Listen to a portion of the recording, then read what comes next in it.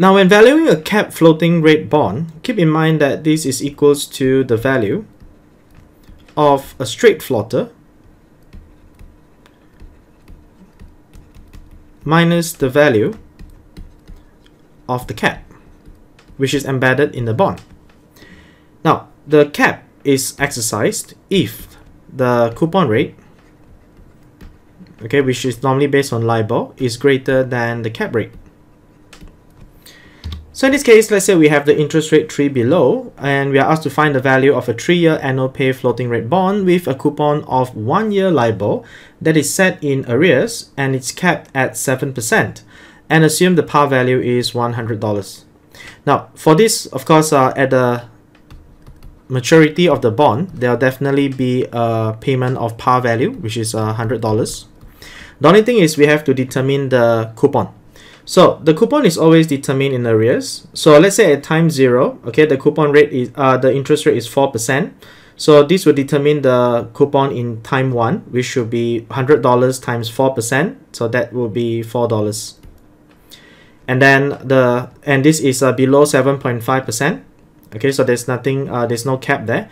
And then at time one we have seven percent. So that will determine that in the next period the coupon will be 7 times uh, 7% times $100 and then here this will be $5 and then uh, for 10% at time 2 determines that the coupon in time 3 will be 10% times $100 that's $10 okay so if you add in $10 here and then for 8% okay the coupon will be uh, $8 so we're not done and then for 6%, the coupon in time 3 will be uh, $6. Now, take note that for this case, uh, we have for any rate that is above 7.5% or $7.50, we have to cap it at 750 So in this case, for this $10, we have to cap it at 750 For $8, we have to cap it at 750 as well. Okay, for $6, we don't have to. Then uh, for the rest, 7, 5, and 4, these are all below 750 right? So there's nothing else to adjust. So we will then discount the cash flow back to the previous period. So now we have 100 and 750 discounted at 10%. So that will give 97.727. Okay, and then uh, for this case, if you discount back, uh, we will also get this, uh, we will have 107.5 discounted at 8%. So the value will be equals to 99.537 and then uh, for this case 106 okay? So you uh, if you discount it back it will still be hundred dollars. Okay since it's uh, the same the coupon rate is based on the same discount rate. Now after that we'll discount this cash flow back okay? Uh, these two values back to the previous period using a 50% weightage.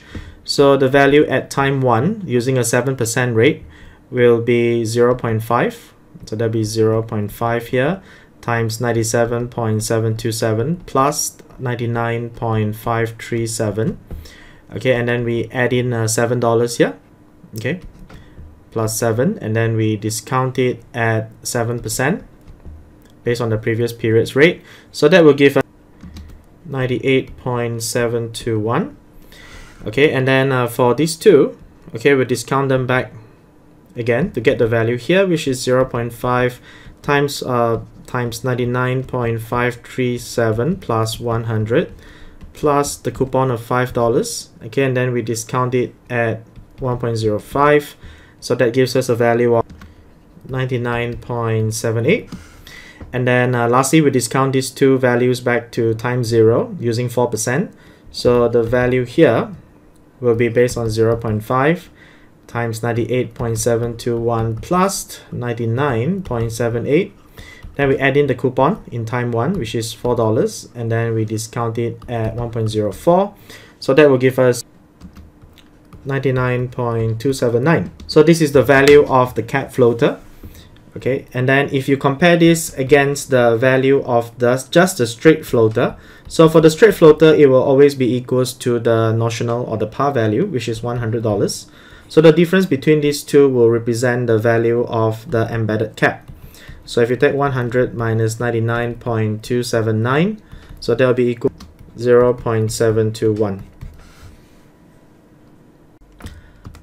Now, what happens if there is a spread on top of the coupon? So let's say we have another floating rate bond that's 3 years annual pay with a coupon of 1 year LIBOR plus 200 basis points with a coupon cap at 9%.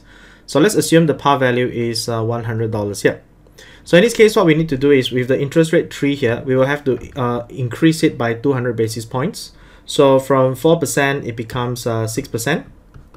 From 7, we increase by 2, so it becomes 9%. Then we have uh, 5 becomes 7%. And then uh, 10 becomes uh, 12%. And then 8 becomes 10%.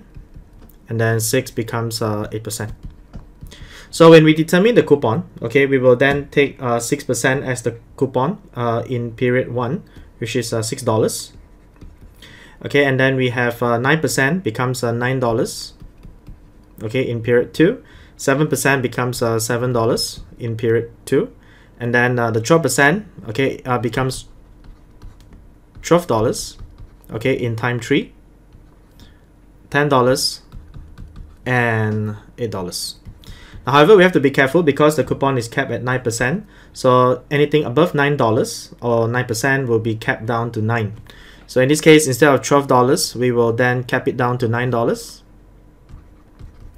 okay $10 will be capped down to $9 and of course $8 remain. And the rest uh, is all 9 or below so we will not change that.